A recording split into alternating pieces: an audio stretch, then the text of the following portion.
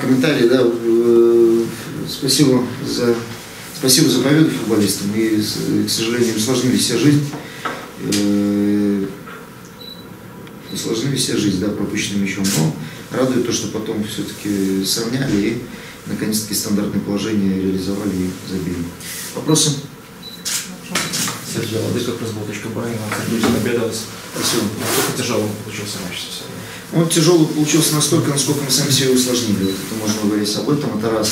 Да, мы понимаем то, что Ислыч динамичная команда, команда настойчивая. И с вами свои моменты будет создавать и организовывать, но вопрос, опять же, тут вопрос противодействия двух соперников. И те моменты, которые у нас были, в- скажем так, те подходы, которые у нас были в первом тайме, мы должны были все-таки доводить их до острых моментов и до э, логического конца. Это именно либо опасный момент, либо гол. К сожалению, мы это не использовали, привезли все стандарты, как следствие, в общем-то, 1-0. И потом вопрос нервозности. Нервозности следом могли получить себе и второй тут же э, эпизод, и второй момент получить. Но, к счастью, скажем так, случилось так, что не забил соперник, ну и потом, э, потом мы отыгрались и, соответственно, увеличили преимущество. Ну и в конце, опять же, защитили ворота героически, где-то вратарь, где-то игроки.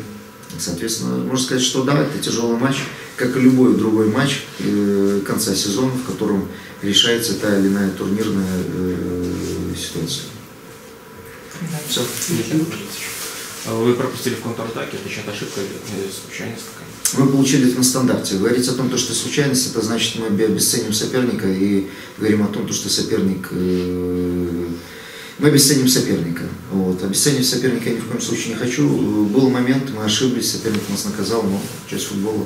Я рад. Соответственно, э, Вопрос стандарта, и на стандарте надо быть внимательны. И ситуация, опять же, первого тайма, когда мы против ветра не добивали мячей, перебивали. И, как следствие, во втором тайме, наоборот, низко садились, а мяч был, э, скажем так, недостаточно быстро, притормаживал ветер, и он падал перед нами. И это создало преимущество не уже не нам, а, соответственно, соперника. А в первом тайме это вопрос, опять же, преимущества соперника, потому что мы его просто банально не перебивали, как следствие, везли все в контратаке.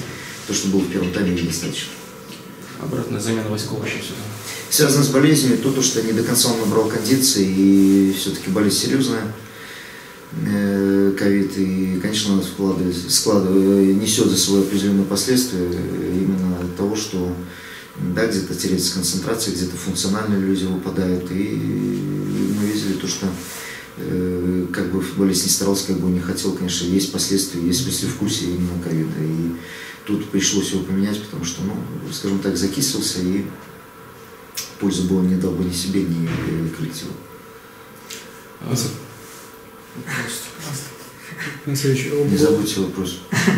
Оба гола были забиты при участии Тимошенко непосредственно. Как оцените действия игрока сегодня? Оба гола были забиты неп- непосредственно с участием как Машенко, так и с участием всей команды. И как следствие были забиты голы, были забиты стандарты. Я отмечу то, что не получалось у нас реализовать на стандартах. И, к счастью, то, что мы сегодня забили э, два стандарта.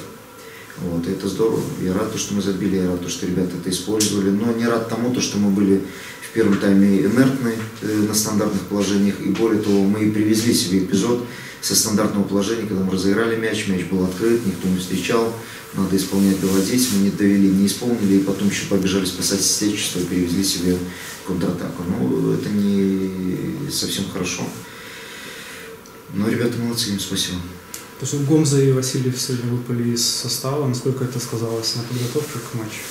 Это серьезные потери, потери э, серьезные как в плане именно персоналей, вот, э, так и в плане именно в той ситуации, в которой оказалась, э, оказалась команда. И достаточно больных, достаточно людей, которые возвращаются после болезни. И, конечно, ресурсы, даже в сегодняшней игре это было видно, что ресурсы у нас ограничены, лимитированы, и как следствие, опять же, Тёма Васьков, когда пришлось, опять же, его поменять, и опять же влияние тоже полезно. И на сегодняшний день у нас любой футболист это принципиально важно и принципиально, и принципиально наличие его. И, соответственно, да, это важная потеря. И Женя Иваненко тоже пропустил сегодня матч. Да, повреждение. Гомель по-прежнему в медальной гонке. На какой итоговый результат вы настраиваете прежде всего себя, и кому-то. Ну, наверное, как, наверное, любой спортсмен, мы пытаемся э, даже так, медальная гонка, это замечательно, я рад, что мы э, в этом участвуем. А что касательно этого, у нас есть две игры, мы непосредственно будем пытаться во всех этих двух играх пытаться победить и преуспеть. Вот об этих двух играх. а, Да. Ю- об этих двух играх как раз Юденков и Соловей уезжают в сборную. Да. Да. Насколько это может помешать подготовке? Я думаю, что это достаточно мешает. Почему? Потому что для того, чтобы так футболисты в таком количестве ездили, с одной стороны, надо э, определенная, скажем так, ротация, как говорят коллеги, ротация. Вот. Почему? Потому что даже у нас 20 числа матч, а с Иорданией, кажется, 16 да? Если будут они играть, то, соответственно, не успеют они до конца подготовиться. Это переезды, перелеты. И вопрос, опять же, эмоциональные, э, это эмоции, эмоции представлять страну играть со сборной. Вот, э, с одной стороны. А с другой стороны, я безумно рад, то, что у нас три футболиста э, сборной, и, опять же, можно сказать, и Побыде, четвертый футболист, который призывается в сборную, футболисты, которые молодежной сборной. Я этому рад и желаю им успеха и успеха сборной. Ну, последний вопрос. Гомель в этом сезоне ярко обсуждаем.